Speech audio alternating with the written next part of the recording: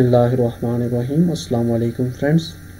Previous video में हमने देखा था हम एच में लिंक्स को कैसे यूज़ करते हैं। तो आज की इस वीडियो में हम स्टार्ट करेंगे एचटीएमएल इमेजेस क्या है।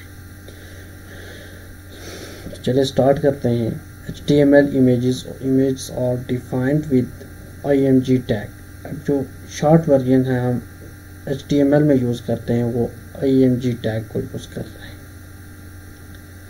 अब इसमें हम एक सोर्स फ़ाइल को यूज़ करेंगे अल्टरनेटिव टेक्स्ट यूज़ करेंगे विथ एट्रीब्यूट यूज़ करेंगे और हाइट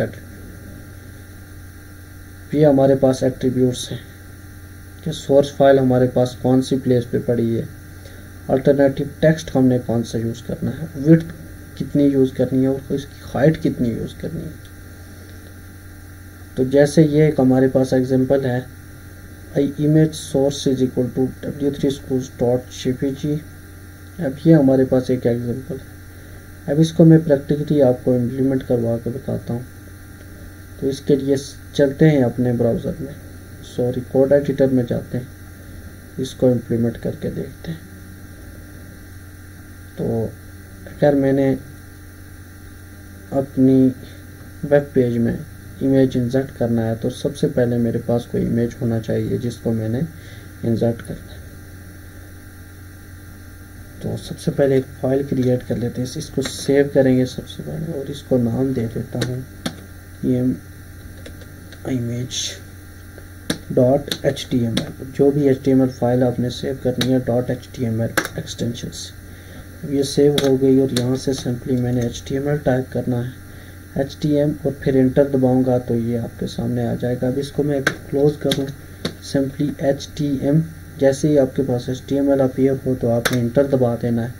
तो ये आपके सामने विंडो ओपन हो जाएगी। पूरा डॉक्यूमेंट रेडी हो जाएगा। तो यहाँ से आपने इसको टाइटल दे देना है। मैं दे देता हूँ image in H T M L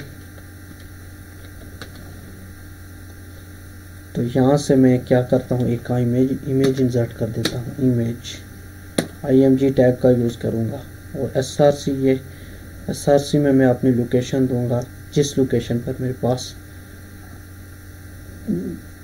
insert करना है मैंने। तो एक बात आपको बताता चलूँ कि कुछ H T M L tags ऐसे हैं, जिनका कोई एंड टैग नहीं है। जैसे इमेज है हमारे पास तो इसका कोई एंड टैग नहीं है। देख सकते हैं, जैसे फॉर एच का यूज़ कर रहे हैं तो इसका स्टार्टिंग टैग एच और एंड टैग ये है। अब इस तरह इमेज टैग ऐसा है कि इसका कोई एंड टैग नहीं ये सिंपली बस इसको स्टार्ट करना और इससे क्लोज कर ओके चलो अंडरस्टैंड हो गया होगा आपको। तो मैं आपको एक और बात बता दूँ इसमें कि आपके पास इमेज होना चाहिए कोई। तो मैंने कहाँ पर इंसर्ट किया? चलो मैं अपने फ़ाइल एक्सप्लोरर में जाता हूँ, दिखाता हूँ आपको कि कहाँ पर मेरा प्रोजेक्ट है। ओपन फोल्डर कर देता। अब ये देख सकते हैं, यहाँ पर मेरे पास इस लोकेशन पर है मेरा प्रोजेक्ट लोकल डिस्क टी और H T M L file यहाँ से मेरे इमेज इमेज फोल्डर के अंदर मेरे पास है, हमारे पास एक इमेज यहाँ से चलते हैं, यहाँ से आपको लोकल टी में गया मैं। अब आप जिस डायरेक्टरी में काम कर रहे हैं प्रोजेक्ट अपने सेव कर रहे हैं, उसी डायरेक्टरी में आपने इमेज रखना और एक क्या करना है इमेज फोल्डर क्रिएट करना है आपने। और उस फोल्डर के अंदर आपके जितने भी इमेजेस होंगे, उनका नाम आप उमूमन शार्ट ही लिखा करें। जैसे ये मेरे पास एक पिक्चर है तो मैंने ये इंसर्ट करनी है अपनी वेब पेज के अंदर। तो ये देख सकते हैं H T M L five और इमेज फोल्डर के अंदर मेरा क्या है? एच टी एम इमेज है। तो अभी इसको स्टार्ट करते हैं कि कैसे हम इंसर्ट करेंगे। अब मैं इसकी लोकेशन दे देता हूँ। I M A G image forward slash का यूज़ करके जो मेरी पिक्चर का नाम है O S dot J P G अब जे पी जी मैं यहाँ पर क्यों यूज़ कर रहा हूँ? जे पी जी इसलिए यूज़ कर रहा हूँ कि ये मेरे इमेज की एक्सटेंशन है। अब जो भी इमेज आप यूज़ करेंगे, उसकी एक्सटेंशन आपने इमेज की जो भी एक्सटेंशन होगी, वही यूज़ करेंगे। ये चीज़ आप वैसे नहीं यूज़ कर सकते। अगर आपको नहीं पता कि कैसे हम एक्सटेंशन फाइंड करें इमेज की तो आपने क्या करना है? सिंपली जाना है आपने, जहाँ पर आपके पास इमेज सेव है। तो मैं यहाँ पर जाता हूँ राइट क्लिक करेंगे। और इसकी प्रॉपर्टीज़ पे जाएँगे। अब यहाँ पर प्रॉपर्टीज़ में आ रहा है जे पी जी फ़ाइल और डॉट जे पी जी ये देख सकते हैं एक्सटेंशन इसकी। तो इसी वजह से मैं क्या कर रहा हूँ? Dot J P G use कर रहा हूँ।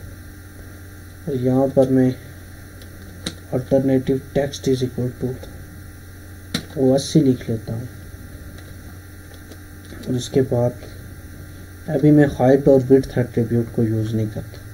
अभी सिंपली इसको सेव करके आपको दिखाता हूँ कि कैसा नज़र आ रहा है मेरा पेज तो इसके लिए मैंने अभी जो भी, जिस नेम से डॉक्यूमेंट को सेव किया था, उसको रन करता हूँ। अब इसको डबल क्लिक करना है। और ये देखें आपके सामने, ये हमारे सामने आ गई जी पिक्चर अब ये थोड़ा सा, इसकी हाइट भी ज़्यादा है और विड्थ कम है।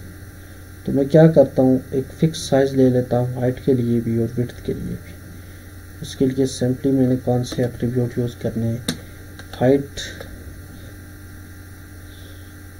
हाइट हो गई मेरी पास two forty P X pixel में यूज़ करूँगा। और विड्थ भी हो गई मेरे पास टू हंड्रेड पी एक्स टू चलो इसको भी टू टू हंड्रेड कर लेते अब कोई भी इसको हाइट एट्रीब्यूट विथ एट्रीब्यूट दे के सेव कर सकते हैं। तो मैं वापस इसको कंट्रोल एस प्रेस करता हूँ। वापस जाता हूँ अपने ब्राउज़र में और ये देख सकते हैं आपके पास। इसकी हाइट और विथ जैसे ही चेंज की तो इमेज का साइज़ भी चेंज हो गया। तो आज की वीडियो में इतना ही। मिलते हैं इंशाल्लाह नेक्स्ट वीडियो में। तो अगर अभी तक आपने मेरा चैनल सब्सक्राइब नहीं किया तो मेरे चैनल को सब्सक्राइब करें, वीडियो को लाइक करें और अपने फ्रेंड्स के साथ शेयर करें। मिलते हैं नेक्स्ट वीडियो में, तब तक के लिए अल्लाह हाफिज़।